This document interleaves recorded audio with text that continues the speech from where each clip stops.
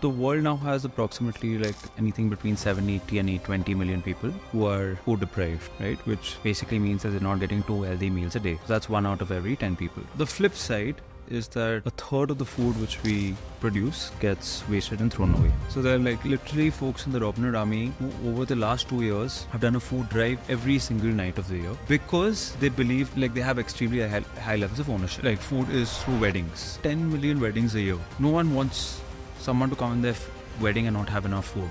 Yeah. So everyone over indexes on the amount of supply of food they have. So there's almost waste wastage in every single wedding. There was one wedding in Surat where we actually served food to 9,000 people.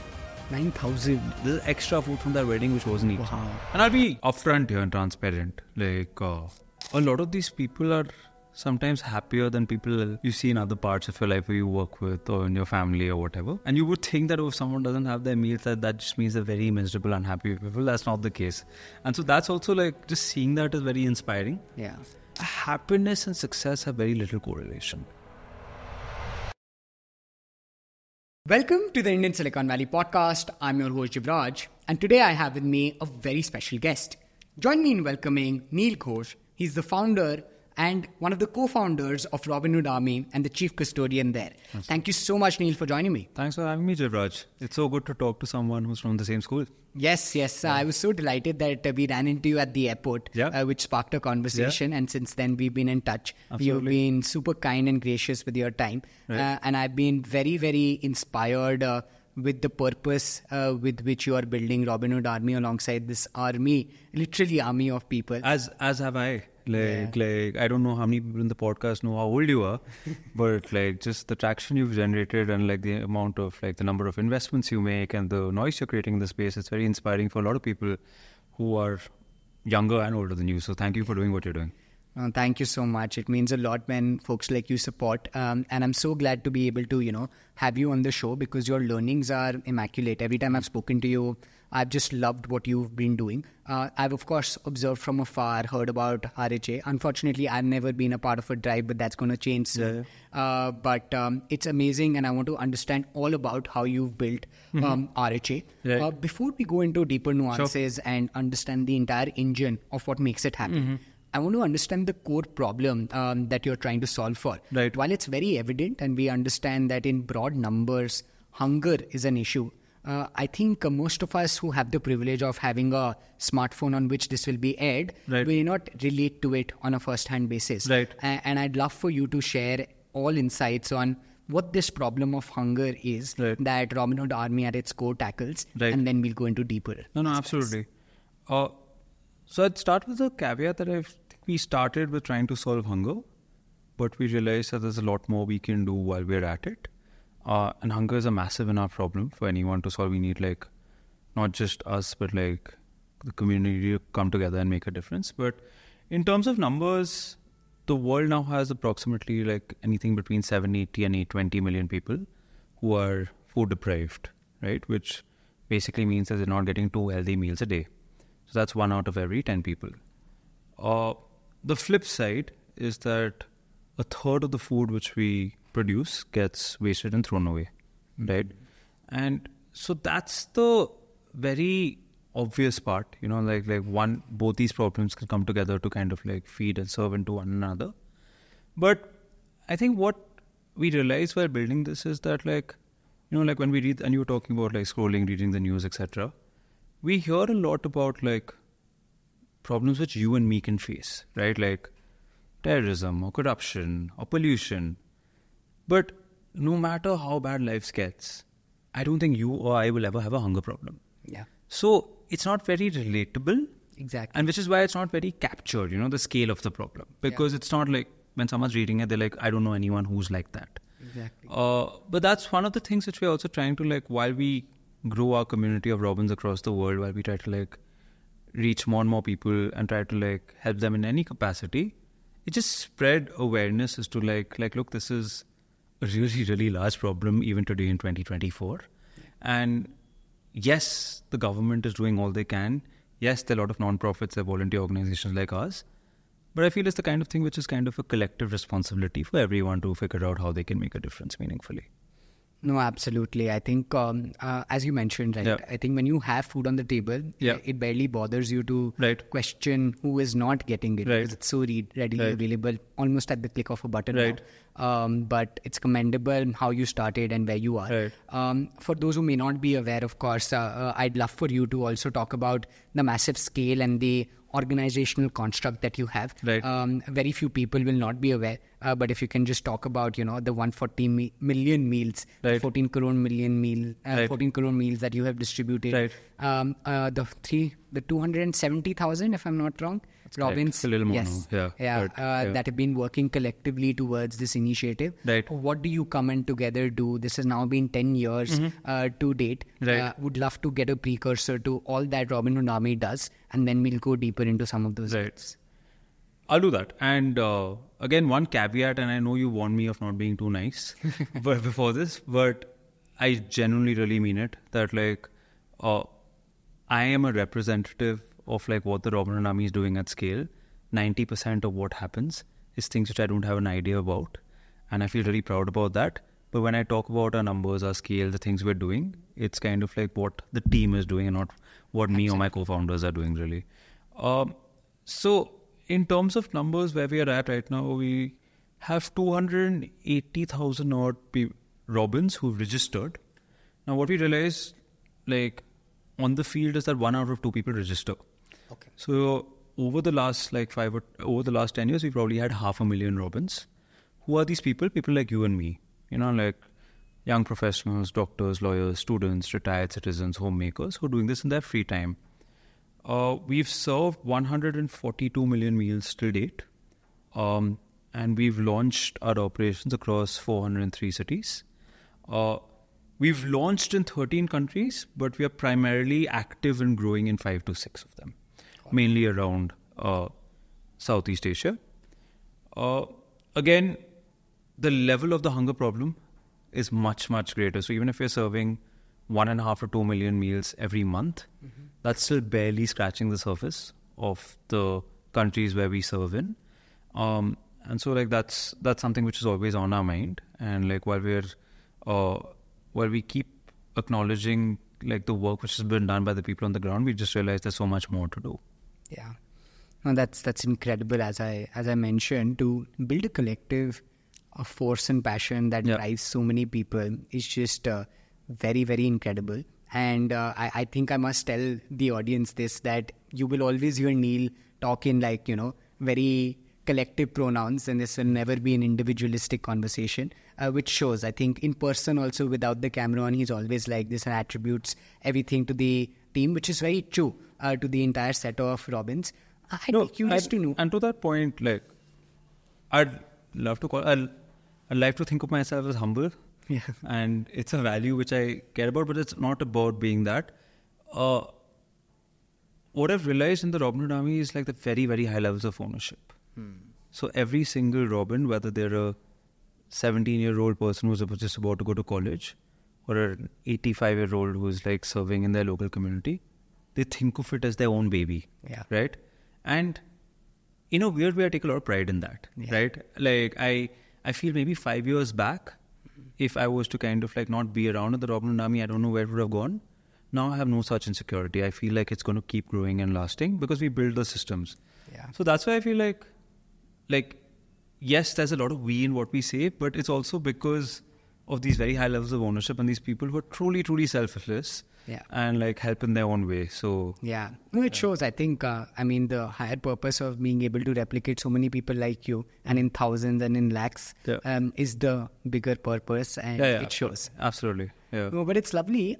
I, I'd be curious to know what is it fundamentally that drives people to help. Yeah. I, I know a lot of people, you know, will observe this Yeah. and they will hear about the problem. Yeah. But to incite this action, right? Right. Uh, is reasonably there's there's friction to it. Right. But uh, some people have done this at scale now. Right. Um, if you can talk to us about what do you think makes people sign up Right. and then go ahead and deliver, Right. uh, and then the feeling of joy that uh, is at the end of the service uh, that you end up providing. Right. What is it like? So, uh, I generally feel that every human being, at some capacity, they want to help. Absolutely. Right? And well, and help is in many ways. It can happen in, like, companies, it can happen in religious communities, it can happen in schools, and it can happen in like non-profits or with with like people who are not so fortunate. So everyone has that inbuilt in them. Uh, what we do to the Robin through the Robin Hood Army is we make it very visible for a regular person as to like how you can you can help folks who live not too far away from you with just a couple of hours a week. So we have a really really great social media team who kind of keeps um, sharing visuals, not of charity. We don't think of ourselves as charity, but more of like when, let's say, I am having a meal with you, Jivraj, I will try to get to know you, I try to get to know what drives you, what makes you happy, etc. So even when we're giving food to the less fortunate, they could be homeless people, orphanages. The idea is it's not a logistics platform. Don't just give the food. Yeah. Spend time with them, share the meal with them, make them laugh, and get to know them. Uh, so I feel that's something which is really well captured on social media where we don't talk about like, oh, these are people who are not happy or they're helpless. We're like, this is just community building of a different cause. So a lot of people they get that kind of like strikes a chord with them that yes, this is this looks meaningful. It looks like it's worth a few hours of my time. I think when people come on the ground for the drive, we don't have to do anything. Like there, the work is fulfilling enough. Yeah. Right. And one is obviously like I, I generally say all of us do do this in the Robin Army for ourselves. Yeah. Like every time I go for a food drive, uh, and let's say I play cricket with the kids, or um, teaching folks like something like some math or something along with the food we're giving, I forget about the other things which are worrying me in life. Maybe it's some report I've not submitted, or maybe it's some tough conversation I have to have at work, or maybe it's something personal which I'm not. I just switch off and it's almost like that act of like being with another person and trying to help them in whatever capacity is very meditative yeah. you know and i feel each one of the robins feel that while doing it and that's one of the reasons why they keep sticking and they keep doing it themselves i think the third thing is people take a lot of pride in the fact that there's no money involved yeah. right so um, it's been nine ten years we don't have any permanent staff we don't have offices we don't have uh, any inventory or vehicles. Uh, but it's we've still managed to scale it to a certain extent. But in a weird way, the most important building block of this is the Robin, yeah. right? And they put their heart and soul into it because no one's making a buck. Yeah. They think of it as their own baby. Yeah. So I think that's the third thing where they completely trust the integrity of the organization, the intent of like the wider community, and that's something which kind of like really speaks to uh, tens of thousands of Robins who are out helping people. That's lovely. I think um, it just speaks to the core motivations of people. I think, as you mentioned rightly, everybody wants to help. They 100%. just need an avenue uh, that makes it simplified yeah. to make it happen. Yeah, and this is a great cause in and of itself.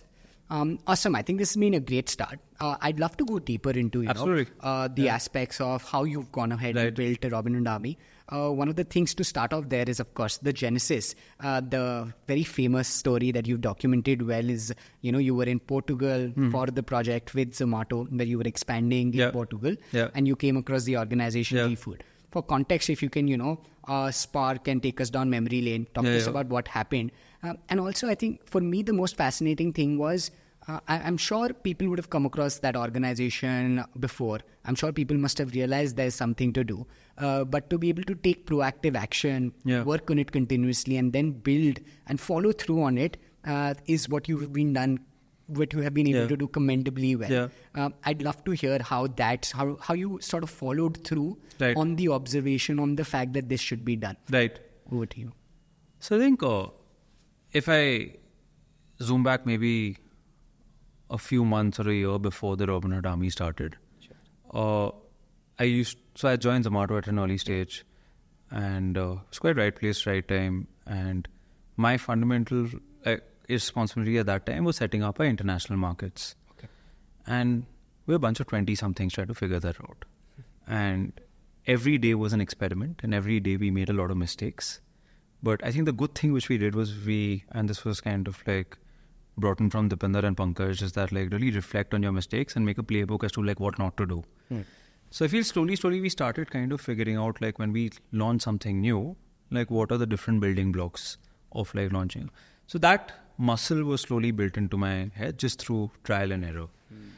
Now, again, as I said, early 20s, my only priorities were building my career and having a good time, right? Uh, had done nothing really altruistic till then. But this was, uh, I think, April of 2014 when we f- first like got the idea. Uh, Zomato at that point, like their number one priority was becoming a global food discovery platform. So at that point, our num- our core, and I still say our, it's been like years since I've left, uh, but the core focus was becoming like the Yelp across the world. You know, and Yelp was like the market, uh, the market leader in the US. But when we were going into different countries, we were still relatively bootstrapped, like far away from IPO, far away from like large rounds of funding. So the way we um, spread the word in a new country were, was to bartering was through barters with credible organizations, right? Uh, folks which like the community in that country knew or trusted, and we would do things like placement on our website or offline events or like different kind of like talk shows with them just to kind of ease into the community. So through this, I came across this organization called uh, ReFood, which is still very respected in uh, Portugal and Spain. And uh, what they did was really simple. They collected surplus food from restaurants and gave it, uh, distributed to the less fortunate through volunteers. Now, as I said, not done anything altruistic till then, but more than the altruism of it, I just like loved how simple it was. I'm like, this is obvious. I'm like, this is not rocket science. It kind of needs should happen everywhere. So I try to spend more time understanding uh, like how they work, who are their volunteers, how do they convince restaurants. So spend some time with the founder. He's a gentleman uh, called Hunter. He's an American guy who went backpacking across Europe, and then he just just decided to stay in Portugal for a few weeks, and then he's ended up being there for the last two decades. So fascinating guy. Just try to understand like what motivates him, what motivates uh, his team, what are their operating structures, how do they keep it sustainable over the years. And then when I came back to India, I got in touch with a couple of like close friends um, from Zomato and other parts of my life, and we decided to start it as a weekend project. So that was it was literally like very serendipitous. It was not something I thought through. Like you know, some people say I wanted to always do something when I was a kid. I had no such intention. It happened to me by accident, but I feel very very lucky for the day we met the folks in Refood because I found a purpose for like what has it been the next decade of my life.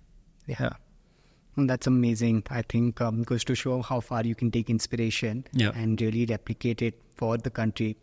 Um, I'd love to know that that these strong fundamental Yeah. things that Robin Yeah. Rami has. This is something you've spoken of in the past, but things like no money Yeah. exchange for anybody. Yeah. Um, this has been volunteer first always. Yeah. Everybody who's part of the team also do they do things beyond Robin Yeah. Hood Army Yeah. at their jobs, and Yeah. then this is what they do Yeah. um, during their other times.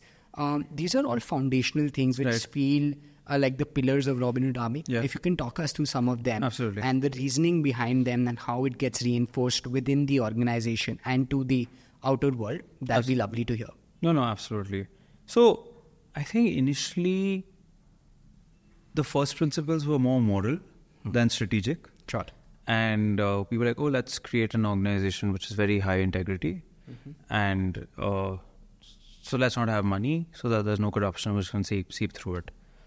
But I think over the years, the most important thing is how many more people can we serve, Right. right? Like it doesn't like that's the thing which matters. It's not about us. Sure. It's about the people we're serving.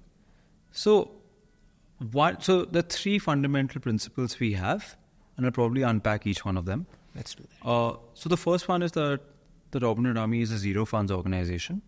No one from within the organization can collect money in the name of RHA. Uh, second one is we serve all religions. Uh, and like if you're part of the Robin Hood Army, like we don't differentiate on the basis of religion when we're serving. And three is uh, we all have our different political preferences and ideologies, but we park it aside when we're coming and serving. And uh, it's an apolitical organization. So we'll have all kinds of partnerships, but we're not going to have any political partnerships. Got it. Now, kind of unpacking each one of them. Um, the zero funds piece, as I said, was initially slightly trying to be a little holier than thou. That oh, we're not, never not going to collect money. But over time, I realize it is a fundamental force multiplier, right? And what I mean by that is that right now there are, as I said, around 280,000 registered Robins. Each one of them, they put their heart and soul into it because no one's making a buck. For them, it's their own baby. So there are like literally folks in the Robinhood Army who, over the last two years, have done a food drive every single night of the year because they believe like they have extremely high, high levels of ownership. Yeah. And they are the ones who are, who are affecting the change on the ground, not me. We are building the systems. Yeah. So I feel as and when you mentioned like I'm the custodian, I'm like my role is to figure out more and more people Yeah. who kind of come under this umbrella of doing good. So, and then we actually first this was a gut like we, we anecdotally like heard from people that this is what they love about us. When we were this was around five or six years back, we did a survey of around twenty five thousand Robins. Uh, Ninety one percent of them said that the the number one reason they dedicate the amount of time they do is because no one makes a buck or there's no money involved. So you don't want to mess with that core motivation. Two is because there's no money, we rely a lot on partnerships, Yeah. right? And that's one of our fundamental leverage points in uh, reaching out and serving more people. Now, partnerships are different types. There are scaled partners like, let's say, the Godrej Group or uh, Travel Food Services, a company which gives food to like all airports across the country. Uh, so they give us food like in the millions every year. Then there are restaurants who give us like food on an everyday basis. Other kinds of partners are partners who give us visibility. So folks like the ABP group, who's also a fellow Xaverian, um, so they give us like their free unsold inventory on television. Uh, we've engaged, and you would find this most familiar. We've engaged the startup community a lot. Yeah. So let's say um, Zerodha has built out this whole retention platform to track retention for the Robins. Uber gives us rides uh, for our special projects at scale across the country. Uh, Yellow Messenger, in partnership with WhatsApp, uh, have given us an onboarding channel where people can seamlessly sign up online. Uh, CleverTap gives us analytical tools. Now, the pitch for each of this is that look, we do this in our free time we're like you, like we are running our families and jobs or businesses or whatever. But this is our way of giving back to the community and country. Are you in? Right? It takes a jerk to say no to that. Yeah. So the second I raise a dollar, I would lose leverage worth millions of dollars, mm-hmm. which I get in kind. Right? And that's one of the main reasons the Robinhood Army is kind of grown.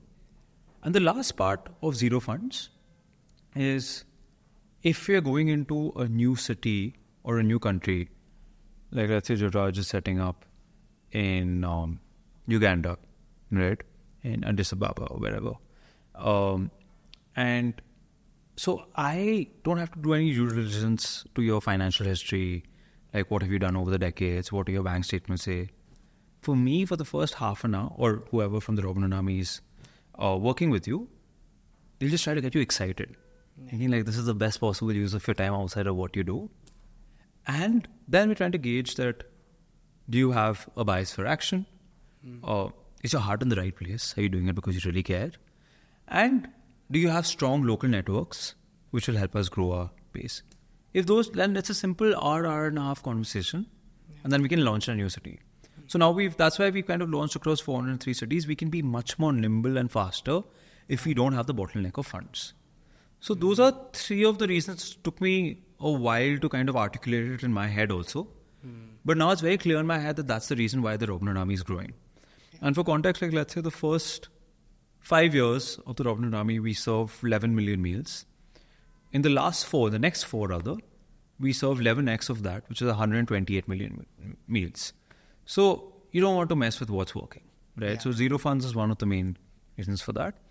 Uh, I think the political part is obviously sensitive, uh, but it's something which everyone agrees with, right?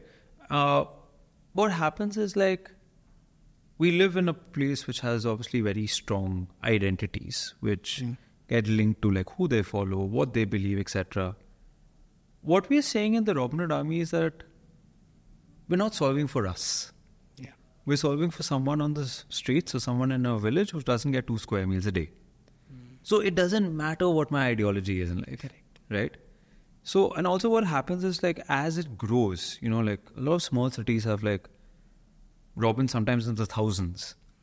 So it almost becomes a bit of a vote bank, like like for some people where they're like, oh, like we have a community of people here, we can go. So we're like, look, like whatever happens, it doesn't matter if you're right, left, center, whatever. Hmm. If you care about people being hungry, this is a great place for you to come. And no one, including me, would be sharing our political ideology with the Robin Army. So it's again kind of a guardrail to kind of like help us prioritize and what we are focused on. Uh, and I think the last part, which is like serving all religions, is kind of the same thing. Again, different religions have different beliefs, and obviously, most people feel a little more affinity to sometimes people from their religion. But again, I think the raw truth is a hungry person is a hungry person, and that's why we're like, look, like it's not like we're talking about a few hundred people; we're talking about like millions of people. So when we do that, then there's no scope of differentiation. Yeah. Like who we find, we just serve irrespective of what religion they come from. So these are reflections which have come over the first four or five years of building. It's a lot of like inputs which have come from Robins on the ground. Like when they see a bottleneck, when they see something which can cause some kind of friction, which has nothing to do with our service, then they kind of like highlight it and then we try to create a norm around it. But it's largely very decentralized. People can do what they want, but th- these are three guardrails which help us kind of like proactively solve for a lot of issues which could come. Got it. Does that make sense? Any thoughts on that? Yeah, no, I think very commendable uh, because I think these principles are necessary, especially to do what you're trying to do at Yeah. scale. Yeah. There's so much trust. This is something you've gone on record to say, Yeah. right? That there's a lot of trust with Robins. Uh, I mean, beyond the food, uh, these are folks who are champions within their community Yeah. and stand for, you know, Yeah. Hmm. giving back, stand for trust, uh, and they have a lot of influence over others. Yeah. Um, to have any of these overshadow the human impact of what you're trying to do Yeah. uh, is injustice to Yeah. the cause that you're trying Yeah. to uh, further. And I think that's why it makes complete sense. And in a, in a interesting way, it kind of breaks down social boundaries Yeah. Of where you come from, who you are, what your identity is outside of a drive. Correct. So I've seen like some really deep friendships develop in the Robin Hood Army, which would not have happened in any other platform of life. Like even if I take Calcutta for example, uh, I know a group of friends who started the Robin Hood Army right in the beginning, who became friends. Like one of them was like an industrialist from a Marwari, Marwari family. One of them lived in uh, like a part of Calcutta which uh, is is ext- extremely like congested and crowded and like like is a ro- lo- local shop owner. One of them was probably like a young person just about to go to college. But even after the Robin Hood Army, they started hanging out Yeah. right and sharing perspectives and i feel like that's what all of us need to a certain extent you know just like go beyond our micro worlds Correct. and like see a bit of what's happening in the rest of life i feel that's Yeah. a great educator in its no, no, absolutely. And it's refreshing to have spaces where you don't hold on to artificial sort of identities or Yeah. your like preconceived beliefs. Yeah. You have a fresh start. This is Yeah, yeah, like yeah. neutral ground for everyone, Yeah. uh, which I love. as in i feel everyone has their own beliefs everyone is kind of in the center of their own lives Yeah. so for them it's real like for for you like let's say your startup world your, the It's startup ecosystem real. is very real for me like let's say like the work i do in big tech or the, my world in the robin army is very real but it's always good to acknowledge there are like a hundred other realities Exactly. right and sometimes Yeah, sometimes like people kind of like forget that Yeah. you know in it's good to zoom out like once in a while, I yeah, guess. yeah. No, no, precisely. I think, uh, yeah, it's refreshing. Like if you have an avenue where you can start from scratch, Mm-hmm. which is what Robin Hood Army becomes. I think that's really, really interesting. Mm-hmm. Um, I'd be curious to know as you scale, right? Yeah. These also feel things where cracks are possible easily, Yeah, yeah, right? so many. Uh, yeah, I mean, because uh, I'm guessing quality control is only possible to an extent. Uh, Yeah. eventually, it's self control. Yeah, Um, how do you solve for that? Has there been occurrences uh, where you've had to regulate uh, how do you establish control over some of these things? Because it feels like while fundamental, these are also points which can break easily. Yeah. No, uh, and I wish I could tell you I've figured it out, but uh, that's work in progress, and the way I see it will always be work in progress. Uh, now, let's kind of break this out into two parts. Like, let's say the cultural bit of it and the food bit of it. Sure. Right? Now, what happens is when, when you bring together passionate people uh, who want to make a difference in a community together, everyone has their own pre existing beliefs. So, there's bound to be conflict, right? And I generally believe conflict is good. You know, it brings out sometimes the best ideas or the best execution. But how do you keep that conflict healthy, right? And and how do you do that at scale? Yeah. So that's something which we put a lot of thought into. Uh, so earlier, when like let's say a city would not like align on something or a direction, a lot of cases where myself, Arushi, Sanchit, my co-founders, uh, we would actually like try to mediate, try to hear both sides, get into this whole like courtroom kind of mentality, and then we realized that you know what, like, a this is not scalable, hmm. and b it's not it's not what our core focus is. Our core focus is serving people. So then we kind of like came up with this culture statement, you know, which was like one part of our culture says citizens first, Robins last. So what I mean by that, like, is like let's say again, you and me are Robins. We are, let's say, in Trivandrum, and the local radio station has called us for an interview. Hmm. Now, if you and me are arguing about who should go give that interview, that's not a citizen's first problem. Hmm. So then we're going down the wrong path. We become we're creating an organization of mediocrity. If you and me are, are arguing about what is the quality of the food we're giving, what is our pitch to restaurants, or like what is the syllabus of the uh, children we're teaching in the Robin Hood Academy, Yeah. that is something which is worth a debate for days Yeah. because that's formative that helps the people we're serving so i think having some of those you know cultural statements where you don't get into judge mode but the culture kind of defines like what is Yeah. the problem worth solving and what's not that has proactively helped us to a certain extent the second thing culturally also what we've realized is that the the number of people we serve is directly correlated to the number of active robins. Hmm. Not robins who registered, not robins who served months back, but today, as of let's say the last 60 days, how many robins are active? Hmm.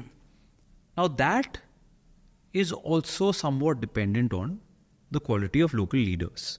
Yeah. So, of a city who are kind of like looking after that. We call them representatives, not leaders. Now, when you have 20, 25 cities, then you can somewhat control training of local leaders. When you have 300, it's completely serendipitous and you should not even bother trying. Yeah. So that's something which really like like played with my mind, like you know, culturally, like how do we kind of solve for that? And that's something which like like let's say there's a problem statement we took to Zerodha and a sub team within them called FOSS United, which is free open source software. And they built out this whole retention platform by which individual Robins could see their journeys on on the platform every time they go for a drive they take a selfie and they check in. And then they if they do 10 check-ins they become a, gla- a ninja. If they do 50 check-ins they become a gladiator. And they see what's happening in different parts of the country real time. So that's kind of like old school gamification but we're trying to de- reduce the dependence on leadership hmm. So earlier the thought process in my head was how do we reduce the de- dependence on like let's say local city heads now what i'm obsessed with is how do we re- reduce the dependence on me and my co-founders Yeah. right? It's always been a very leadership dependent organization but how do we now build systems hmm. for this to kind of be slightly future proof so those are things as i said like we're barely scratching the surface Yeah. but it's something we're always thinking about that how do we find really smart people who are specialists who can kind of build out stuff to solve solve for these things so that's culture and that's like and i can talk about for the whole podcast because there's so many uh, challenges on a real time basis and uh, but from a food perspective uh, the one thing which we because there's no money we were very clear about the fact that no Robin Army team in any part of the world will have their own storage facilities, right? Because that's not scalable. So what the cab- what that basically means is that if we have no storage, whatever food we collect, we distribute it within the next three hours, Okay. right? So that's solves a lot for like freshness. Yeah. Second is like we have food coming from every part of the country. Hmm. So like it could be all kinds of cuisine, hmm. like North Indian, South Indian, East Indian, whatever. So we can't have standardized templates for on a national level, but we let each city define what they feel are the safest items to distribute at scale Got it. right? And they define that, and they they they take very uh, a, a lot of like norms are, are drafted to kind of follow that, right? Like what's what's least, what's most perishable? Like how do we kind of avoid that? If something is looking sketch, then like should we t- taste it ourselves? Uh, even during the pandemic, when like food supply dried out from restaurants, then and obviously the hunger p- issue was at its peak that time, uh, especially with re- reverse migration. So then we pivoted towards uh, dry rations. Yeah. So that's something which you know it's not going to get like spoiled that early. So that's also something which we are constantly trying to like keep creating new norms, keep sharing best practices Yeah. within the community, and uh, do our best to figure out how we can serve a healthy meal. Mm, That's amazing. I think again goes to show how to build a because as I was you know preparing for the conversation also I was just amazed at how do you uh, build such a scalable organization uh, with so many people contributing um, and efficiently right I think uh, this is a very complex challenge in and Yeah, of yeah. itself um, and to understand more about it is very fascinating um, Just to be clear, we're always dropping the ball, right? Of course, like- we're always dropping the ball. We always like are trying really ambitious things and figuring out like what's the best way to serve. But I feel because we're trying ambitious things, that's why we are where we are, Yeah. and it's almost become a part of our DNA while we're building out the Robin Hood Army. I can imagine. I think I, I'm I'm hoping and guessing that this is more wins than not, which is what keeps it alive. But I'm sure there is a scope of error which Yeah, yeah. any organization Yeah, yeah. will have. So completely acknowledging that as well. Um, but no, very commendable to still see the scale and the growth at which, uh, as you mentioned, right? Like first five years vis-a-vis next five years, Mm-hmm. 11x jump, and I'm sure this is a number which is only going to grow. Mm-hmm. So incredible to hear that.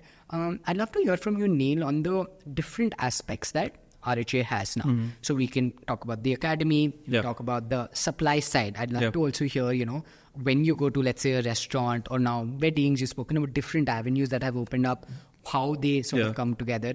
On the team in and of itself, you Yeah. mentioned to me that, you know, there's a core team, they all do different things, they pick Yeah, it up. How does that work? They're very, very incredible people by themselves who have like a shared mission. Yeah. And then the drives in and of themselves, what they entail. Right. So maybe let's tackle one after Sure, each. sure. Um, uh, I think the supply side is the is the Right, interesting one. right. Um, you mentioned that it's been surprisingly pleasant. Yeah, uh, yeah. As how, agreeing they've been Absolutely. Mm-hmm. to provide additional food. Talk to us about the diverse nature. You understand, like the restaurants are the Yeah. obvious one to begin with. Right. But what are the different organizations?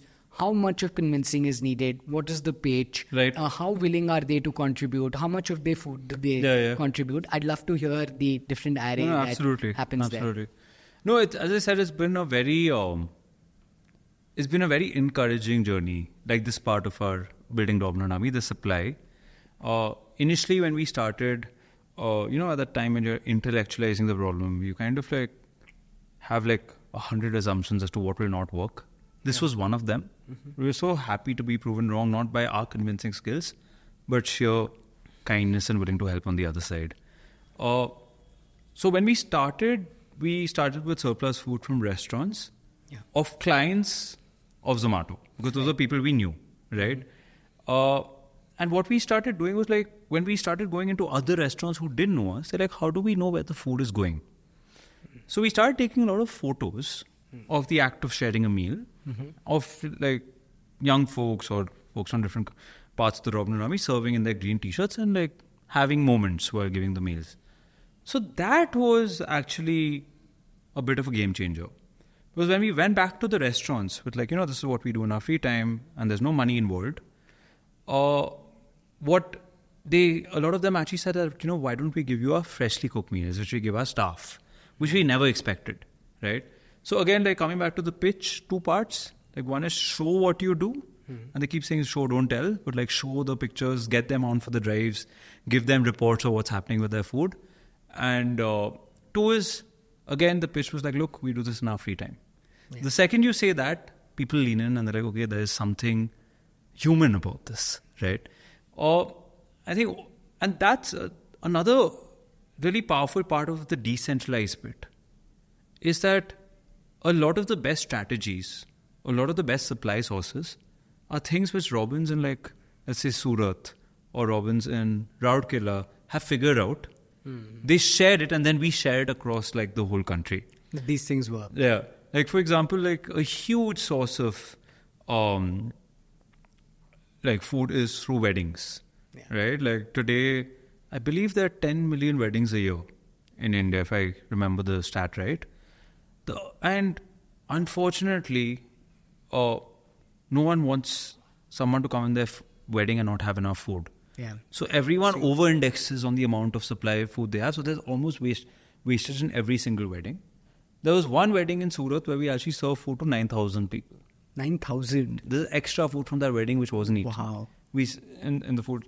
So that became a staple source.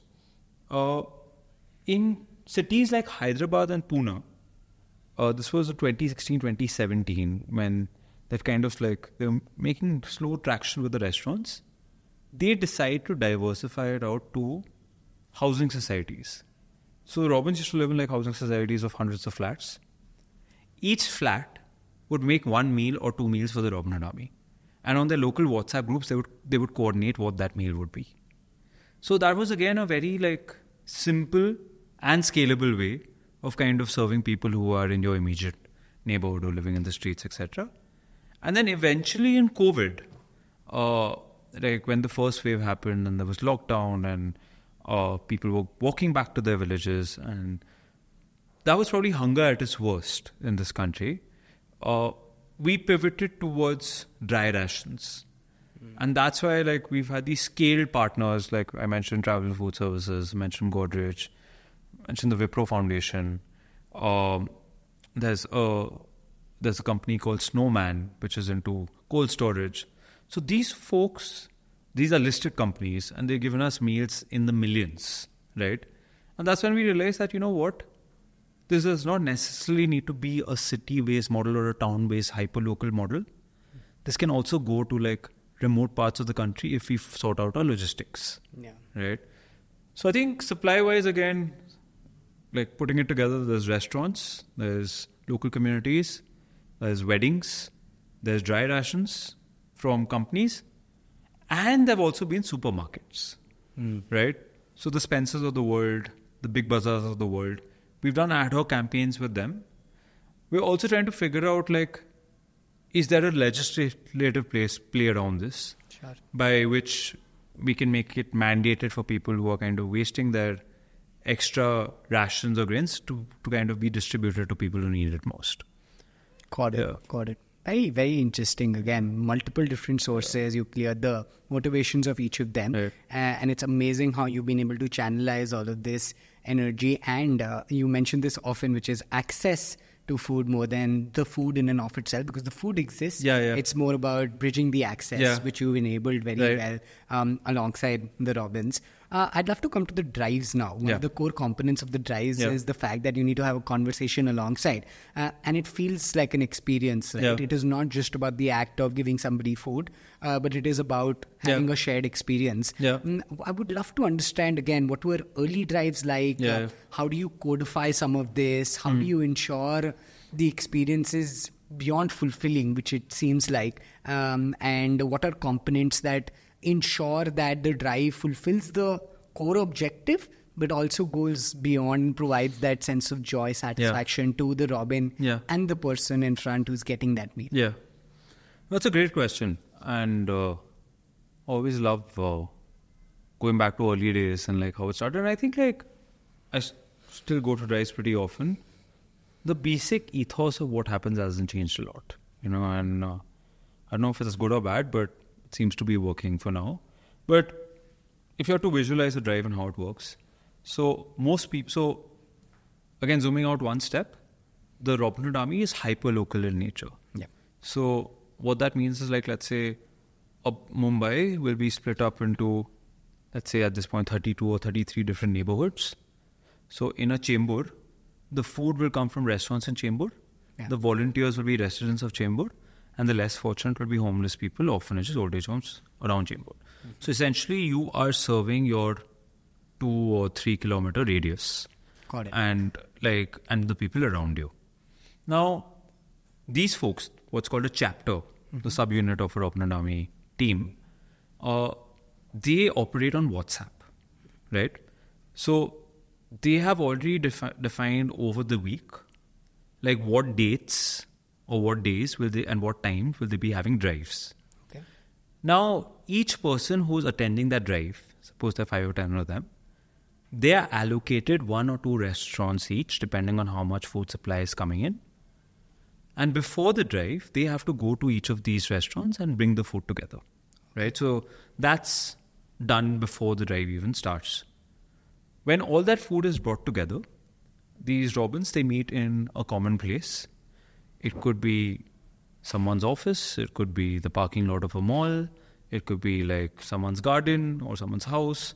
Uh, we're very fluid with that. And then it's kind of about putting the meals together into uh, tangible units which can be served, Sure. right? Then what happens is like what they've done from earlier, not not during the drive, is they've already scouted the places where they want to go give the food to. So, for example, like in a place like Delhi, if you go to a place with let's say 500 people and you have food for 100 people, it's a really bad idea Yeah. right? So you really need to know and map out hmm. like where are folks who need the food the most, hmm. and like what are the numbers. So so that is an exercise called scouting, which has already been done. Okay. So during that drive, I think what one thing which happens is like the folks who come for the first time, hmm. they kind of get a induction Got it. as to like how the Robin Army works. They introduce themselves. They kind of are told that this is happening in different parts of the world as we speak right now today, and they kind of put in the forefront or on the front lines of that specific drive. You know, so that they are kind of leading the front or running the show, and that builds ownership at, on day one, right? Uh, and they're also told that look, within four weeks, you will be leading a drive.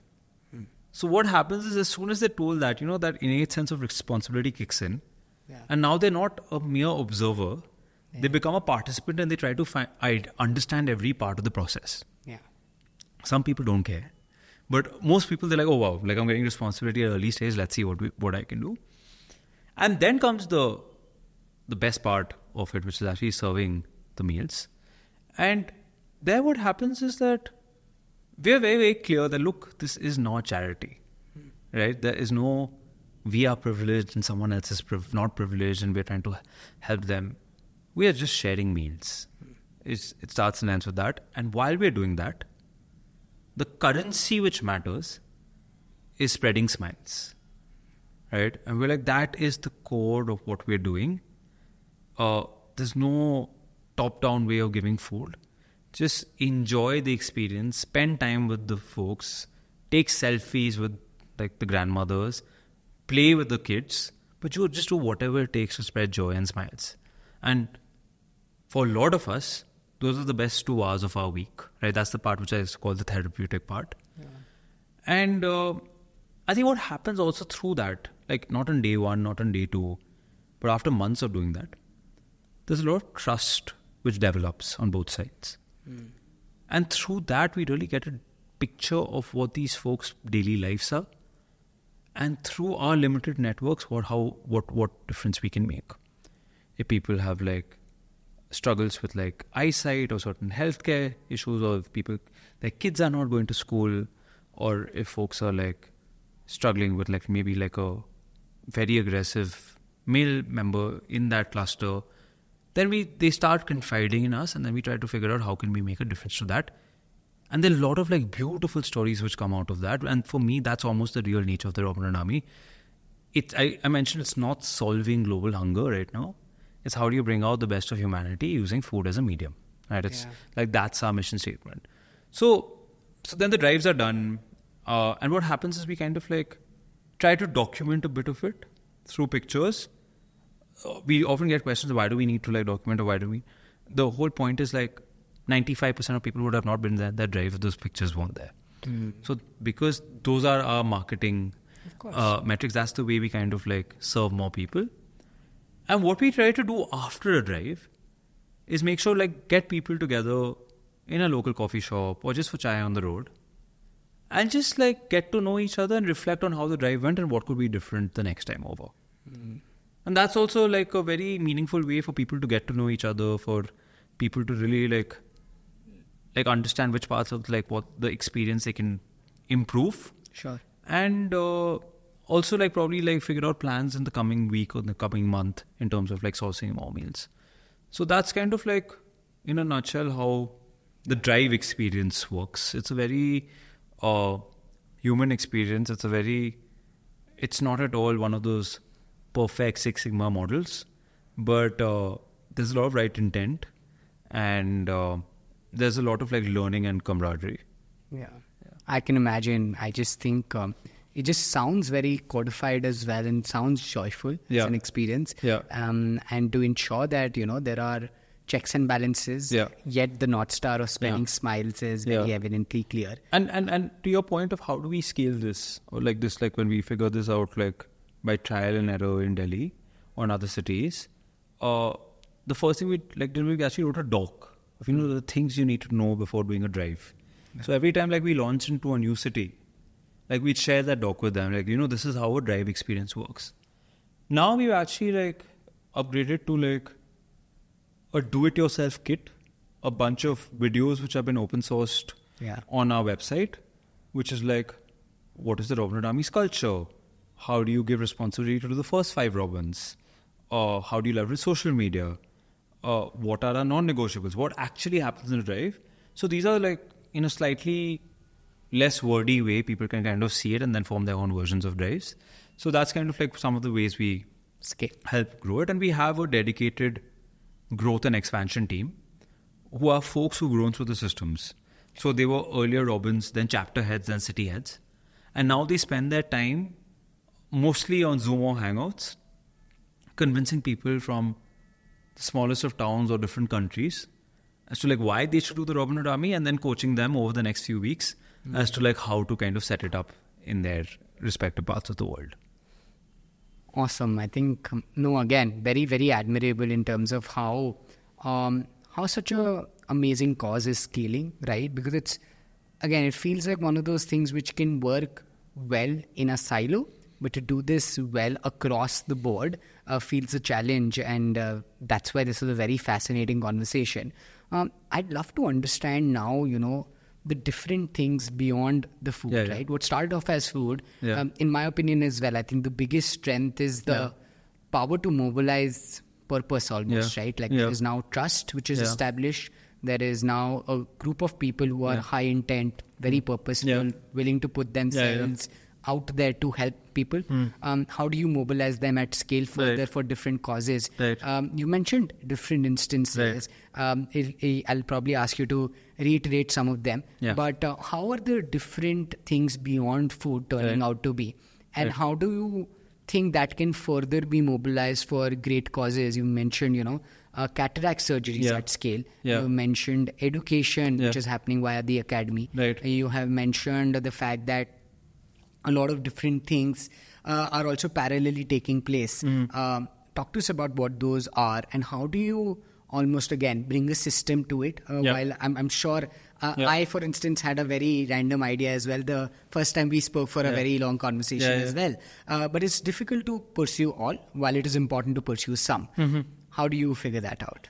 So, um, I think what happens is like as I said, like the biggest enabler of all this is trust. Yeah. Right? When you are serving someone week on week, month on month, and having conversations with them, uh, what you're building is trust. Yeah. and through that trust, like the idea is how can you make a difference to people's lives in whatever capacity.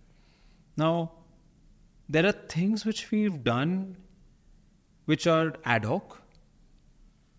There are there's a port, there's a category of things which we done which we now scale and we have systems around it.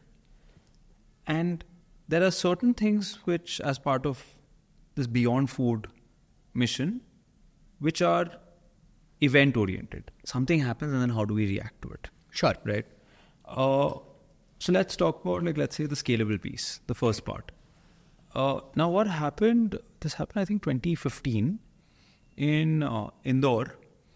The Robins there, they started teaching the children of the families they serve in their free time on the roads. You know, like basic like English and math and like general knowledge and like helping them if they're in school or not. And I I come from a family of academics. Uh, I was the black sheep of that, but I but I still have my views in terms of, you know, how we can distribute food through systems in our free time, but how do we like like is education even the right thing to be picking up? Mm. Like in some cases, I feel like you can cripple someone if you give them a little bit of education and then stop. Yeah. So I was not very comfortable.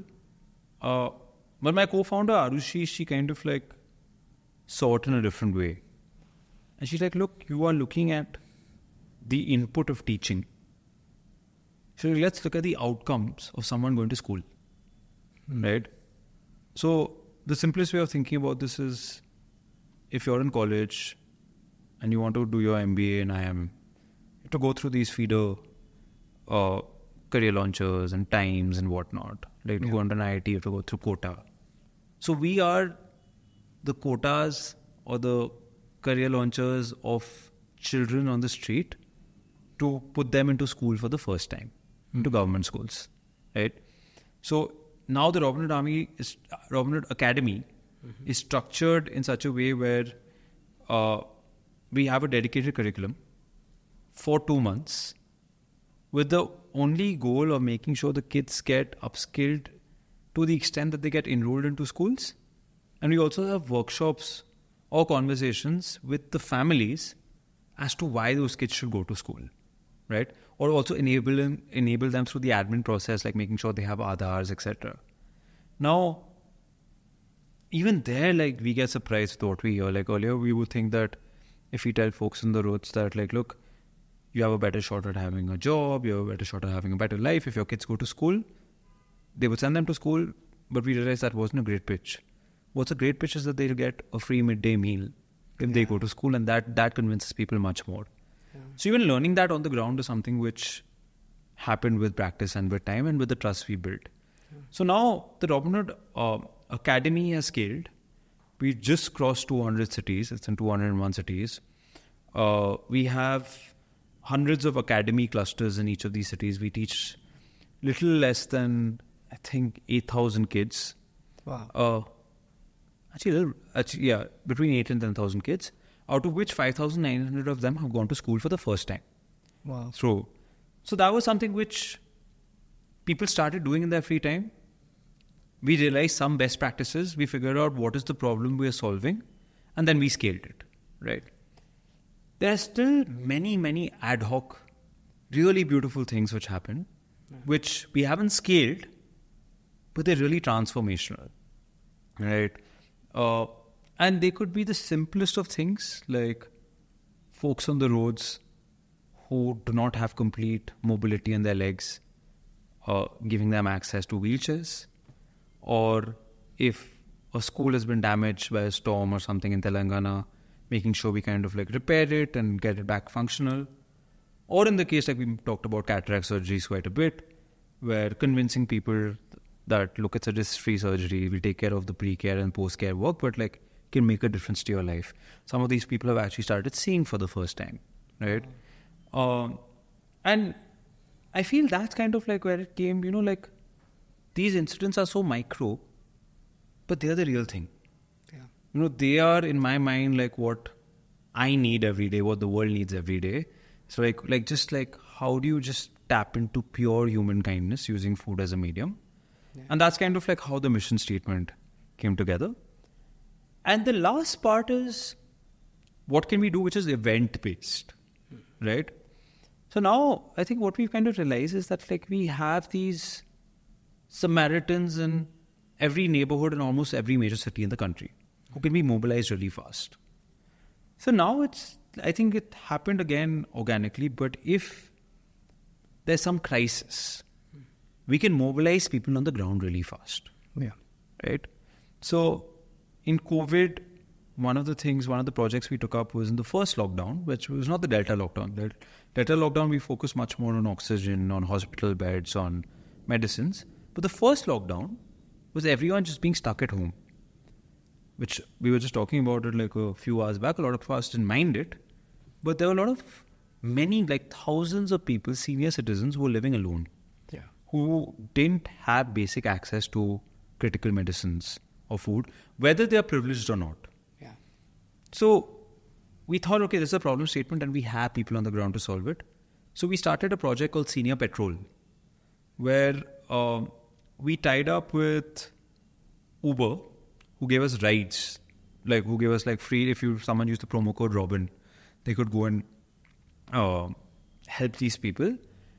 And we partnered with the ABP group, who kind of put it out to like millions of people that if you have a senior citizen or an aged relative who's living alone and needs access to critical medicines or food, then like we are partnered with the Robin Army and they can make it happen. Just fill up this Google form.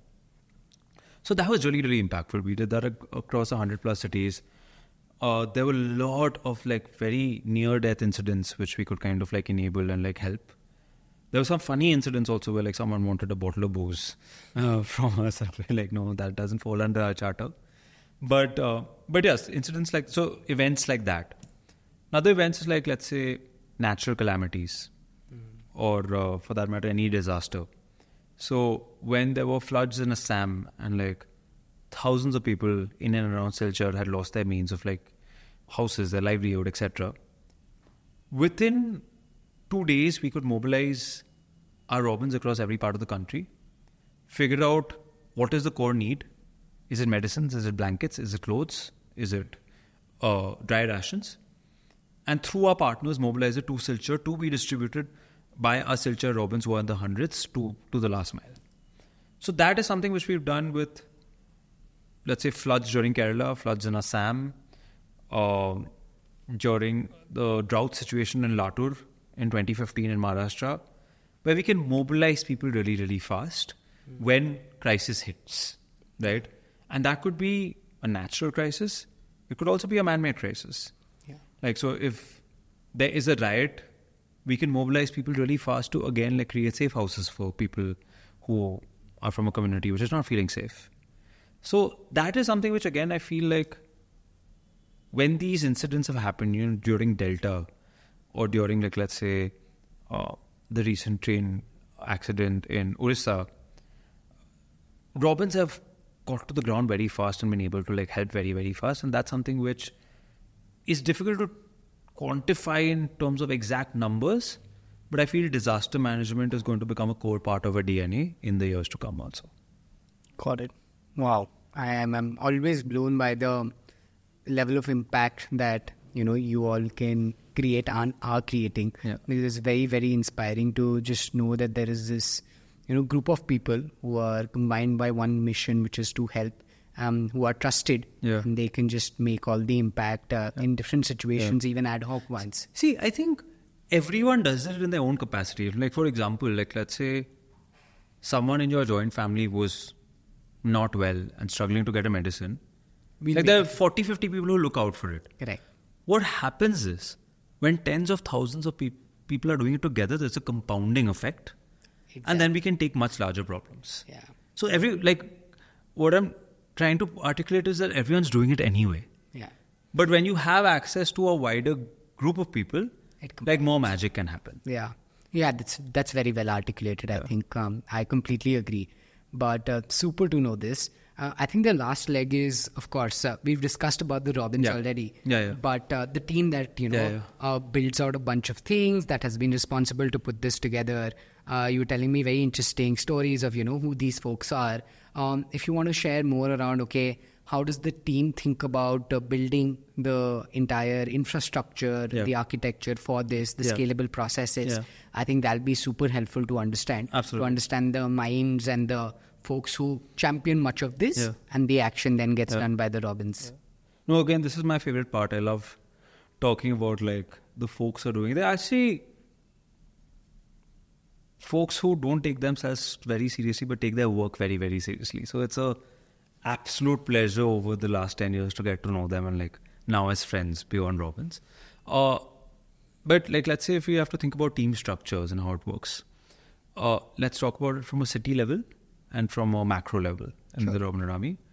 In a city level, like when we launch in a city, it's the model Uber used to use back in the day to launch in a new city where one person looks after supply, which in our case, which is food, in their case, it's cars. One person looks after community. So in our case, that's social media and making sure people have a good volunteer experience or volunteer management. And one person actually looks after, after like operations, like what's happening in the drives itself Sure.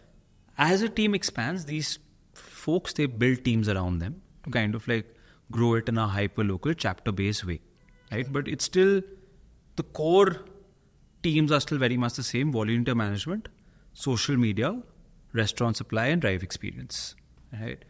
Now, when it comes to let's say the macro team, uh, I briefly talked about a growth and expansion team. Yeah. People who have grown through the systems and now they're convincing people in different parts of the world on how to set up Robin Hood Army chapters wherever they are. So they spend probably 70 80% of the time on calls just doing that. And it's, uh, it's again like, think of it as venture capital, like you're taking 10 bets and one will work out, but it's a patient game. Sure. But that one is worth it. Yeah. Uh, right? Uh, then we have, again, a social media and partnerships team.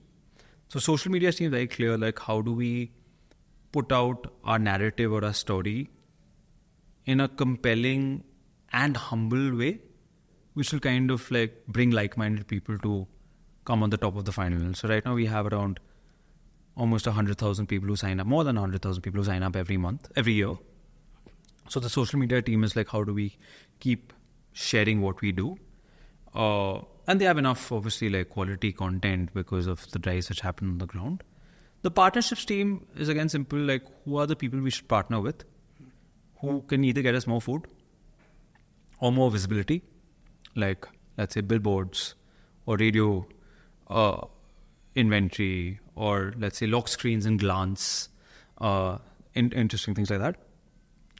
And lastly, there's a team which can the partnerships also we get talent. So folks who kind of like build like simple tech solutions for us, or folks who are building out like, um like let's say one specific project like in Independence Day where we want to serve millions of people work partnering with that. So the partnership team looks after that. Then there's a tech and data team. So the tech and data team does what any other large organization would do, mm-hmm. which is kind of look at funnels, like where are people falling off, how do we make the drive experience better, like what are the compelling points to like go to restaurants and scale food, or what can we how do we open source data and dashboards to anyone on the ground so that they can focus on on um, uh, just the act of serving. So the bunch of people from like my earlier workplaces from Google, from HBS, from um, Zomato, who are actually building out these things in their free time. And uh, what am I missing? As we talked about social media, partnerships, tech and data, growth and expansion. And yeah, the core teams. So like because like we need dedicated like team structures to run like 300 odd cities. So there also the cities we've kind of like split up into global cities, hmm. which are like cities across the world, million plus cities, which are cities which have served more than a million people, mm-hmm. and all the other Indian cities, right? Okay. And there also there's a tiered like team structure. So there's like the India rep, then there are zonal reps, then there are growth reps, and each growth rep looks after five to ten cities, right? So there's kind of like a almost triangular pyramid structure there, and uh, the million plus uh, team that's very interesting because these are probably the 14 odd cities which have served more than 60% of RHA meals.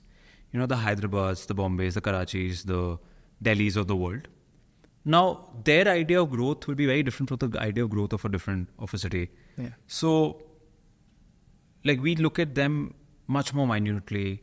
We try to get them data driven at a much more deeper level. Uh, their partnerships are also much more nuanced. Uh, right now, every time the like right now we're trying something called projects Project Swadesh, which is how does each city adopt five villages in their in their in a uh, radius of like 50 kilometers and gives them meals through the month, like dry ration meals. So it'll be piloted with a million plus cities. So it's almost like think of it like centers of excellence. Yeah. And if it works there, then we'll scale it across the other parts of the urban autonomy.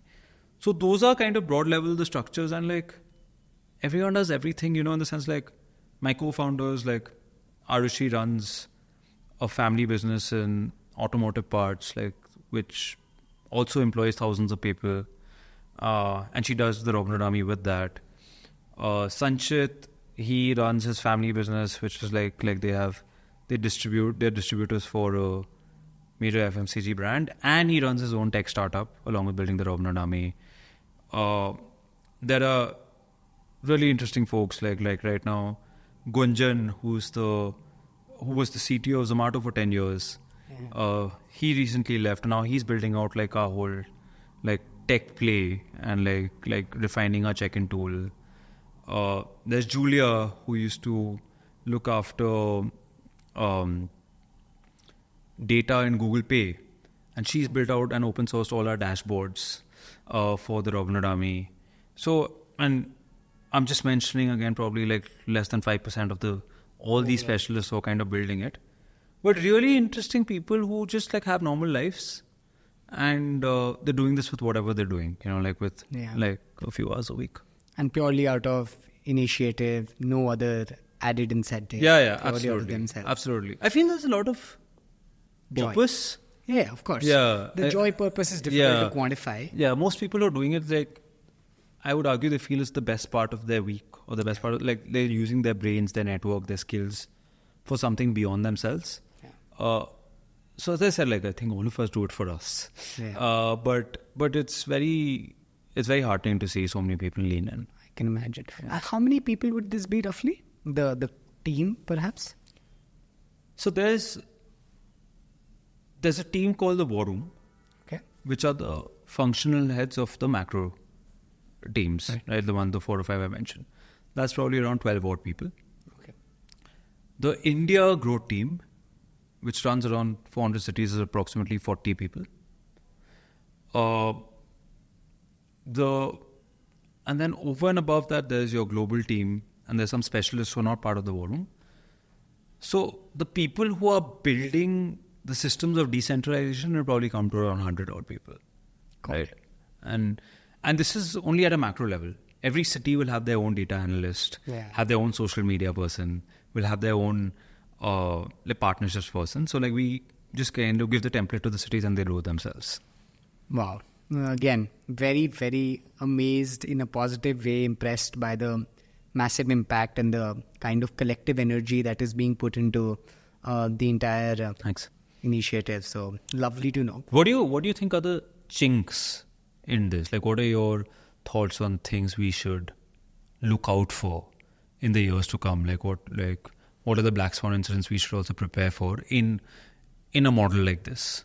No, I think uh, the biggest thing to look out for will be how how to scale this to the extent. I, I think scale is the only challenge. I feel foundationally the model's proven very well. Yeah. Um, I was curious to know why uh, the monetary exchange part because I felt that with more resources, Yeah. can this be Yeah, more systematic? And also if absolute time would be helpful. So when you mentioned that this is, you know, work alongside Yeah. what you have on the primary Yeah. aspect of living a livelihood, it felt like uh, can there be more impact if there is singular attention by Yeah. thousands of people on this? Um, so that was the challenge in my head. Yeah, So yeah. perhaps that's the only thing. Yeah. But I think otherwise this works like magic, and it looks like uh, it has all the guardrails to significantly impact so much of ground level people Right. that we don't otherwise reach to Right. because to build a human network at scale I think is the aspiration for so many people for the benefit of the country. Sure. And it remains to be an unsolved challenge Sure. because of so many different like things around our diversity as a Yeah. country. Yeah. But you've been able to do that. So I think uh, Yeah. I think just making it commonplace, you know, like in a recent podcast, I think Kishore Biyani was talking about like the three Indias. Yeah. Like there's your 100 million consumer class, there's like three or 400 million people, or the people who work for the cons- consumer class, which is like the drivers and the peons and the helps and all of that. And there's a good 900 million people who earn less than like let's say thousand dollars a year who we don't see you know I, co- I think of it as the, the india we don't see Correct. right and like they could be like labor in in agricultural setups or people who are dependent on subsidies or people who like in the homeless we serve in the Robin army i just feel if those like 100 million people they just have access to more of those folks automatically there'll be like ma- many many such initiatives which are already happening Correct. which will help bridge that gap and like take us Yeah. forward as a country yeah, the triple effect needs to start Yeah, someplace. yeah, I yeah. think. starts with awareness Yeah. i think most people have a kind heart i think it starts with awareness yeah I agree. I agree. Oh, this is very, very interesting. Very fascinated by the different nuances that Yeah. are taking place. Uh, I think as we conclude, the, Yeah. the final piece is, you know, uh, to understand the.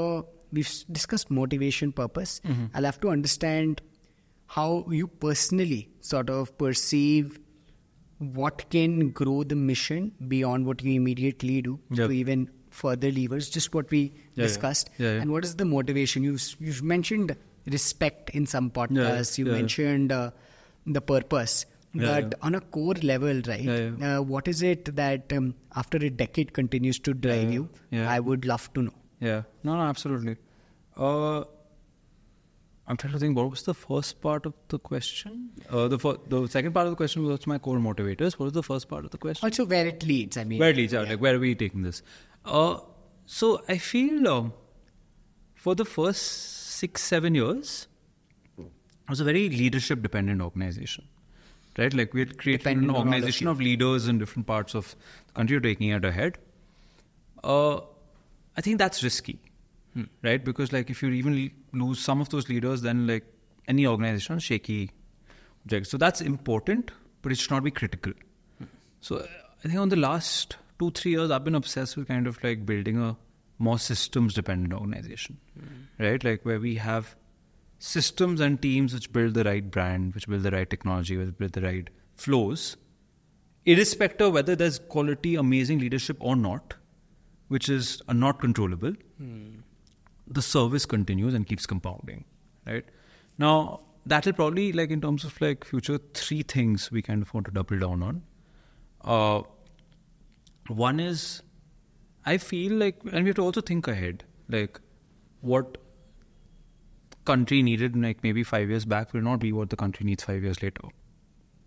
I feel there's still a lot of tribal belts, a lot of villages where there's still a lot of lack of access and will continue happening Yeah. even as India keeps growing, right? Not because of lack of effort, but just because of the vastness of our country. Yeah. So I think right now the one thing is what we're trying to do, we're calling it Project Swadesh, is like how do we adopt initially hundreds of villages uh, which have the lowest access to food supply and partner with the right organizations from a raw materials and logistics uh, lens and make sure they have meals through the year. You know, so that's and ultimately like sitting in our cities and towns, how do we make food supply somewhat as in universally accessible is not the correct thing to say, but that that's the goal or that's what we're working towards. So I think like uh, focusing on both urban and rural India is one big part. Second thing is uh, building this in different parts of the world where the need is the most. Like we've seen in places like Pakistan and Sri Lanka and Bangladesh that with the right leaders and the right systems, like it just compounds, right? Like, uh, so that's something which we're like identifying places in the world, like in Indonesia, like in Thailand, where uh, there are very high inequalities, where there is a population of people who are privileged and want to make a difference but don't know how, and there's access to a lot of like digital technologies for us to like scale. So that's another part of like what we're focusing on. And I think the third part would be the Robin Hood Academy. You know, as I said, like I'd love it to be in a position where 10 years later we're not serving 10x the number of meals, but we're serving one tenth the number of meals. Mm. Just because there's no need of it. Yeah. But then we still have that huge network of Samaritans. And then how do we kind of like mm. divert them towards what the community needs? And that could be putting children to school, making sure they stay into school and they don't drop out, making sure that they get upskilled in uh, in fundamental like skills, or for that matter, making sure they have the right mentors. So developing the Robin Hood Academy is going to be a critical foundation tool for that. So you have to keep looking ahead and keep re-examining like what we're doing today is it relevant or not. Absolutely. Uh, with respect to personal motivations, uh, and I'll be upfront here and transparent. Like uh, there is a altruistic bit and there is a me bit, sure. and I like it's important to have that clarity for you to keep doing it year on year. Why are you doing what you're doing? So I think since I was in school, I've always like felt a inordinate amount of happiness helping people in any capacity, right? Like whether it's friends, teachers, someone on the road, whatever. It's just, uh, it's a high, uh, and I don't think it's new. I think most a lot of people feel that, but I'm like doing this at a scale which can make a difference to like people in like hundreds of kilometers away who I have no access to. I don't know who they are, but like help is happening because of something someone has done in the Robin Hood Army. Uh, I like it. It's it's a huge motivator. You know, I feel like like it it really feels good like using your skills, your network to kind of make a difference and helping, and it gives me a lot of happiness and joy. And I feel like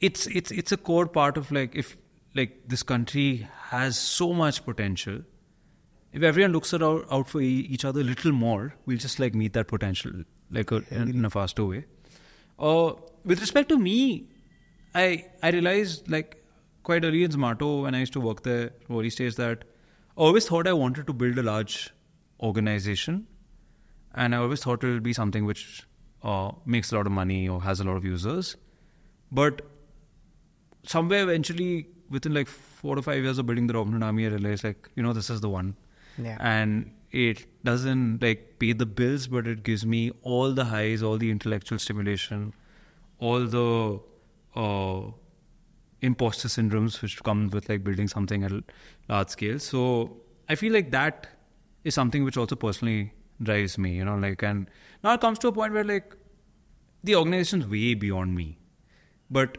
what's really, really important for me is that it continues. Yeah. Yeah. And irrespective of who's leading it, who's running it. Uh, so that's been a that's been a personal motivator, and I feel like I am not like I'm not like very enamored by a, like money beyond a certain extent, like beyond being comfortable or fame beyond like like fame or something, but what matters, so what has mattered to me, and I want to actually work on it, is like also respect from peers, seniors, whoever. And that's something which most Robins get a lot of, you know, because yeah. they're just trying to like help in their own capacity. So that's also been a motivator, like while we've kind of been ramping and building in this hub.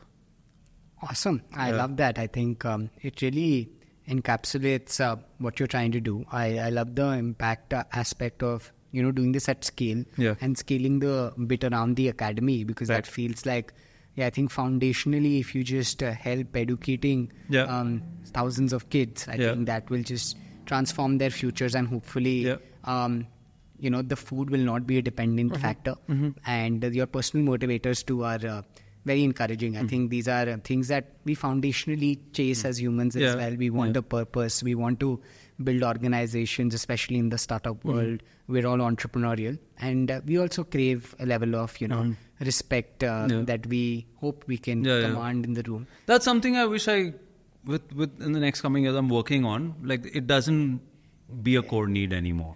Because- Shouldn't matter. because it's external? Yeah, yeah, yeah. Like it, like if you're happy with what you're doing, that should be enough. Correct. Right. Yeah, yeah, yeah. But Yeah. no, but but uh, very well rounded and very exciting.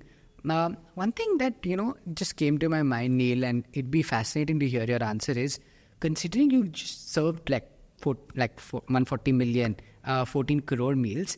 Have there been insights that make you realize what what is the emotion these people have Yeah. who may not have meals Yeah.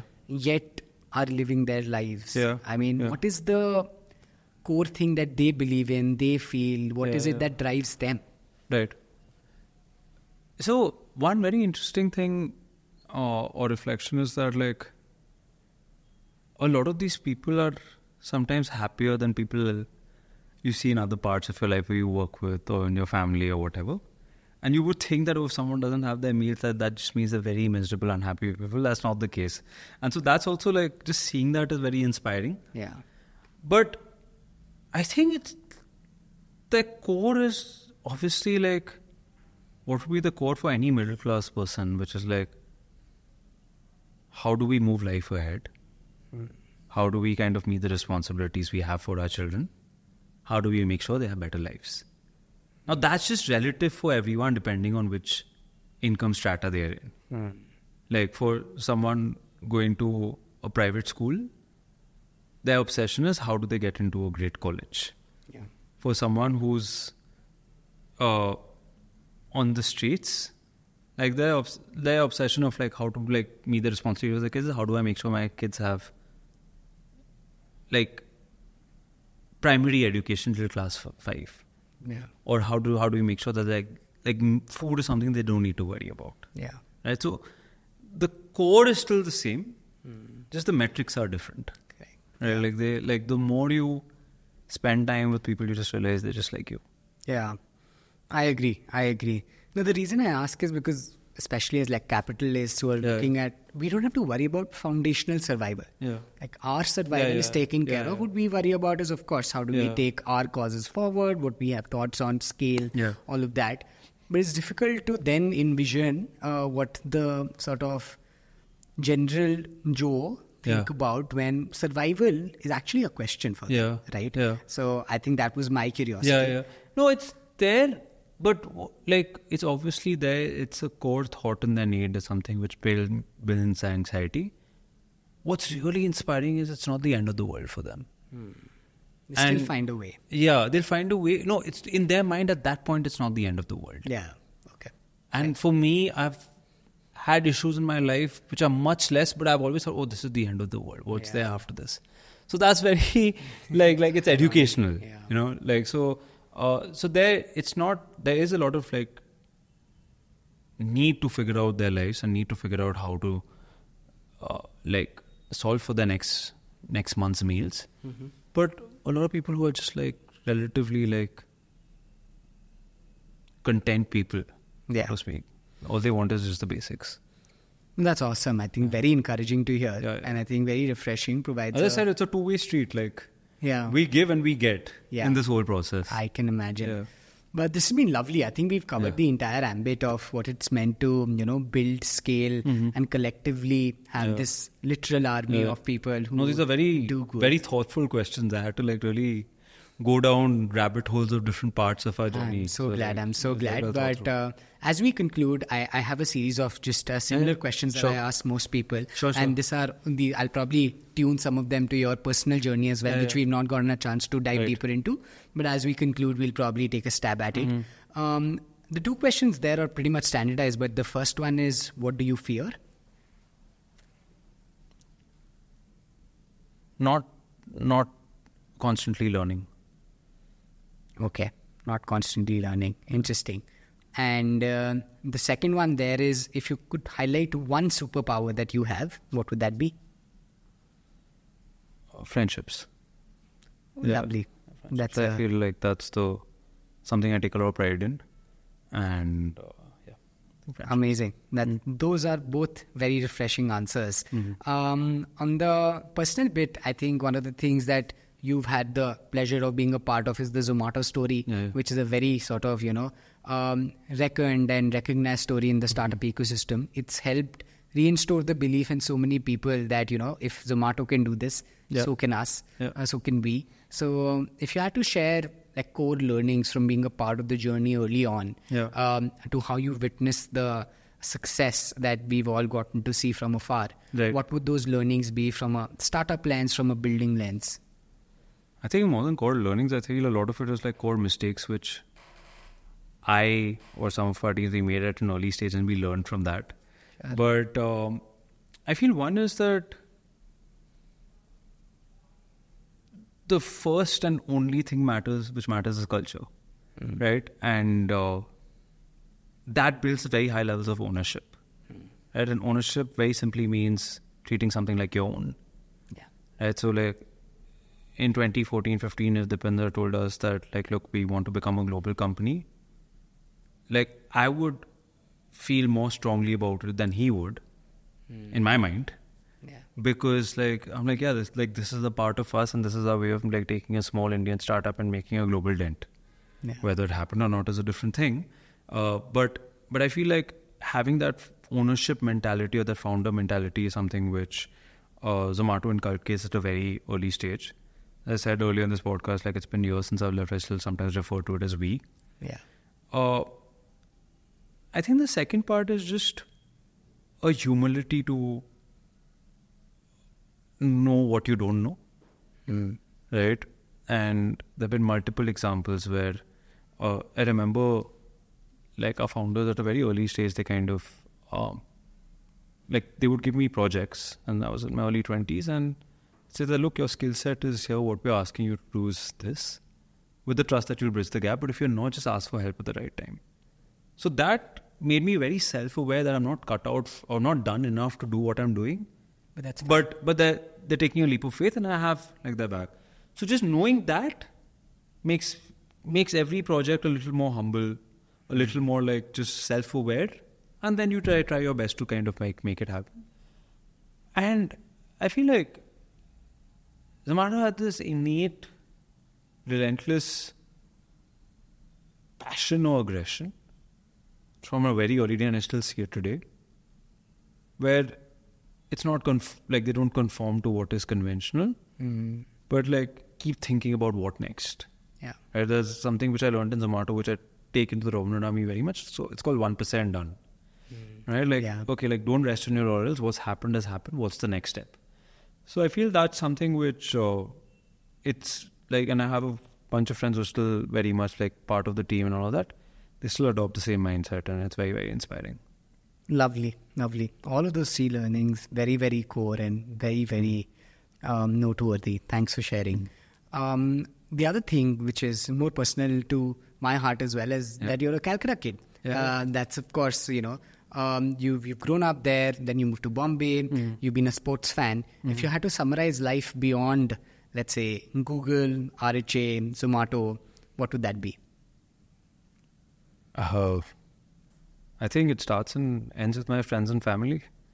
Uh, like I come from a really uh, small nuclear family, it's just like my parents and my sister, and uh, I'm married right now, and we have a three-year-old dog. My wife, uh, Saiba, she runs her own business, and something I'm very proud of. And like my sister's the fourth generation academia, and they live in England and then I have my so I've kept moving around. Like I done schooling in Calcutta and Bombay. College was in Delhi. My first job was in Hyderabad. Yeah. Zomato took me to like four or five countries.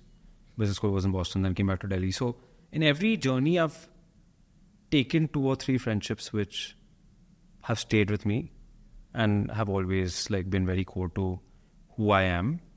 And I think the the absolute first love has been uh, cricket all my life. I think like you know our school had a very very high standards of of of cricket. At a pretty young age, I realized like I don't have the talent to take it beyond a certain point. But even right now, like I'm, I'd probably say I'm one of the most passionate Indian cricket fans out there. Uh, You went for all matches, I've- all Indian. yeah, I've gone for every World Cup semi-final and final since 2011. Oh wow. So 11, 15, 19, like no matter what's there in my bank account, I and there was a time where I don't even know if I should be saying this in a podcast, but I spent like the last part of my business school loan to for my fi- final tickets in Lords. Wow. but uh, but yeah, I'm like since we couldn't make it to the team, the least we can do is be next to them. Yeah. But but yeah, cricket is something which I I love that. eat, breathe, and live. Awesome. No, I Yeah. think that's that's good to know. And um, yeah, no, I, I can I can add to it. I think you're one of the kindest people I've met just from the That's- get that- go. that's really sweet, That. I- Yeah. that also shows beyond the Yeah. Mm-hmm. work persona, and that's very very interesting. Uh, I have two final questions. One is on your. Uh, we've not gotten a chance, but to those who may not be aware, you also work at Google, Yeah. uh, and that's a significant part of your Yeah, life yeah. professionally. Um, I'd love to understand how it's been to go from Zomato Yep. to working at you know a big tech organization in Right. India, take responsibility, Right. work at scale, perhaps. Right. Uh, how does that impact your mindset of Yeah. um, you know forming the Right. entrepreneur that you are Right. uh, with RHA and with your other efforts? No, it was obviously culturally very different Mm-hmm. from what I used in Zomato. Like, uh, what in Zomato, like decisions were made on the fly, and they were very, very fast. Uh, in a large organization, obviously, it's more measured, more thought through, uh, more layers, which took me some time to get used to. But the flip side of it, and what I've learned is like there's a lot of focus on long term thinking like what how does this pan out for the next three to five years? What are all the variables which can pa- which can happen? And what are the pros and cons of it? And also also a lot of focus on leverage. So let's say the first product i worked in in google was google pay. And uh, the whole team like even today like takes a lot of pride in kind of like building something which like now 200 million people use for their day-to-day payments but i could see at a very early stage even if i was not in those decision making rooms as to like how the product is thought through in terms of like really making it permeating. Even when they were like 20 or 30 million users they already had their sights on 300 million and a path to that. So that's been quite uh, educational in, Awesome. in a sense. And uh, and right now obviously like there's like the whole Gen AI phase which is coming in, and Google's trying its best to kind of like uh, with Gemini, etc., to uh, be a strong player in the game. So it's a very interesting time to kind of like be in the organization and learn things behind the scenes. Yeah. Amazing, amazing. Lovely to know that.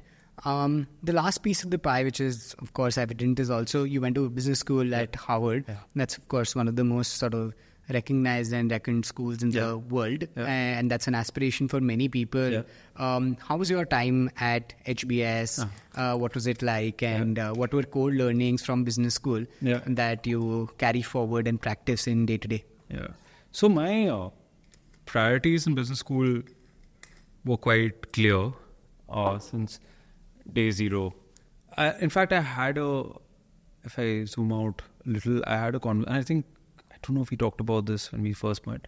Like, so there's this uh, friend slash mentor I have Tanmay, who's the founder of 1MG, and we had a conversation. I think like, and he had gone to like the like Stanford, the GSB, like ten years before me, and then he had come back to India for Zomato. That's where we met. Yeah, so like you know, what are the what are the kind of people who are like happy in your class? Like you know, like what are they doing? Are they successful entrepreneurs? Are they in big tech? Are they running like hedge funds?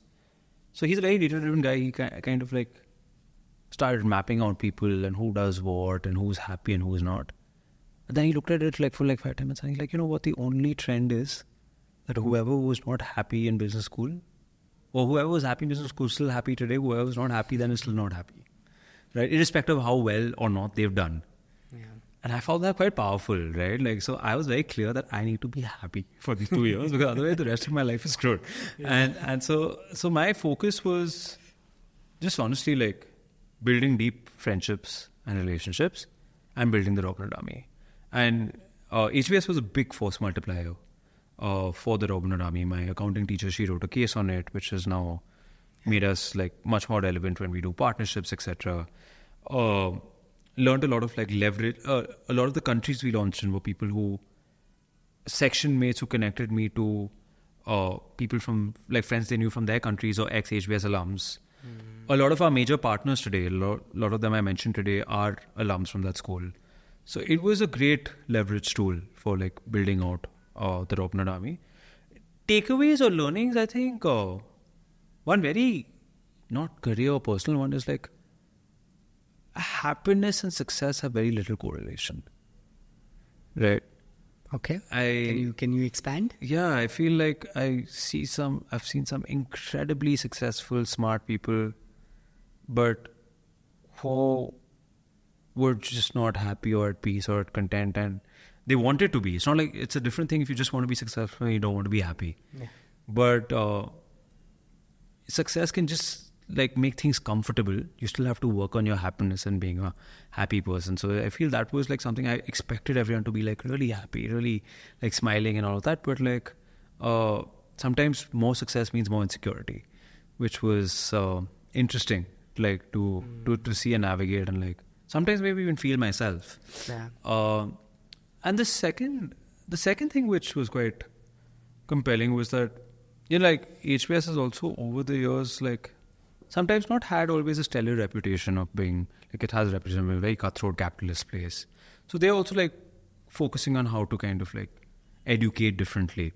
So there's uh, a professor I had, Larry Culp, uh, who's now the CEO of GE. So he used to teach us leadership, and uh, he said something which was very compelling. You know, it's like like generally the way like work things work is like you do well, you get successful, you make a certain amount of money, and then you kind of look after other people. That's like the last phase. He's like, it's not like are you good enough to like help people. He's like, are you smart enough to do well in whatever you're doing professionally and also help people at scale? Mm. And I feel that's a much more compelling narrative, right? Yeah. And that like really resonated with a lot of people within HBS, Yeah. where it's not like are you good enough, but are you intelligent enough to try both? Yeah. And I feel like a lot of type A people in India would also kind of like relate to that, where like they pick up more collective responsibility, which is beyond their own personal trajectories. Yeah. Awesome. I think um, that's also very, very interesting and some very cool learnings. Um, great. I think uh, we're now towards the end. The second last question, Neel, Mm-hmm. is uh, is actually one on you. I think I'd love to just understand. You come from a family of you know uh, academics. Uh, Mm. You've had strong education yourself. Mm-hmm. Uh, you've been in uh, high in high talent dense organizations. If I if I. Yeah. had another word, I'd probably come up with it. But Zomato, Google, you know, HBS speak of that. Um, what are personal values that perhaps you know, let's say, drive you as a human? Yeah. Uh, I've I've already mentioned a lot of praise, but I mean every word of it. I think you're very calm, composed, kind, helpful. You should, all you of should that. come home and meet my wife and tell her all this. She'll be so happy to hear this. But no, but it shows. I think, uh, and the couple of introductions I made uh, to Yeah. people of you as well, they've all testified to it. Yeah. I, I'd love to just understand, like, considering all your experiences in life, if you could just like define life philosophy for you Yeah. that helps you like lead day to day. Yeah. Uh, this is agnostic of let's say what's happening, right? So Yeah, yeah. Google's happening, RHA is happening. You're leading all of this. Yeah, yeah. But like, what is the life philosophy like? I know Yeah. this is very philosophical in Yeah, yeah. nature, but I'd No, love to hear your thoughts. Yeah, so that's a deep question. Um, we've talked about Naval before this, and he often comes up with these gems of wisdom, which is in the back of like your head, but you never knew how to articulate it, and then you hear it. Uh, so one thing which um, I try to kind of hold myself accountable to is taking the work we or I do very very seriously, but really not trying to take my own self very seriously. And uh, obviously, there are times where I fail at it, but it's good to keep reminding Yeah. one that I feel like, uh, you know, like you remember in sports day in school when people are running on a relay and then anchored. If you look right or left to see who's coming up, you slow down. Yeah. If you just keep looking at focusing on your own track, you'll be fine. Yeah. So I feel like like that's something I try to like take very very seriously, like my responsibilities and what I'm doing, but not myself. Like, uh, so that's something which is core. Uh, I feel loyalty is something which has always mattered to me as a human, me as an individual, and that could be at any level, at a friendship, like you know, relationship, or a family, or for that matter, a team. but like really having each other's back, especially when the chips are down. Uh, I think those are the things which matter in the bigger scheme of things. Those are the things you'll remember, not the successes. Yeah, I think. Yeah, again, I'm trying not to take myself too seriously, so I don't have too many other things to say. No, but this is this is again very helpful and Yeah. interesting ones. Yeah, not I- to take yourself and yeah, I just, I just saw like while you were saying, I just like remember one thing. I, Yeah. it's something which, uh, we did a lot in Zomato, or we did a lot in the Robin Hood Army with like the times when you, when you're trying to solve for something, you end up over intellectualizing what the problem is. Hmm. With assumption, but ये भी हो सकता है, this could also happen. And Yeah. This is also a factor. Have you considered that? The answers will always lie on the ground. So I feel like something I try to also do in my personal life is like just sometimes like think a bit, but then get into doing. Yeah. Like earlier, like I used to like think less and do more, but I'm like still you have to think a bit. Yeah. But most of the longer term answers will always lie on In the doing. ground. Yeah. Whatever you do. Think a bit, do more. Yes, in your TEDx Gateway talk, you I was think mentioned- less, do more. Yeah. Now I think of like seven years Think a down, I uh, I'll think a bit and then do much more. I can imagine. But Yeah. no, very, very good pointers. Honestly, like I think a lot of food for thought. I think these are more practice than like you know hear and uh, understand the gravitas Yeah. of. But uh, lovely to hear. Um, for the last What's question- yours? I'm I'm curious to hear. Oh, wow. Uh, For me, honestly, values wise, I think uh, I'm just a huge believer in being grateful.